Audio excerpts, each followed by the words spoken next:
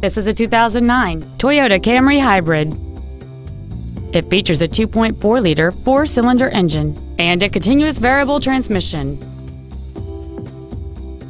All of the following features are included a low tire pressure indicator, traction control and stability control systems, cruise control, a CD player, an engine immobilizer theft deterrent system, an anti lock braking system, rear curtain airbags, rear seat child-proof door locks, a power driver's seat, and this vehicle has fewer than 69,000 miles on the odometer.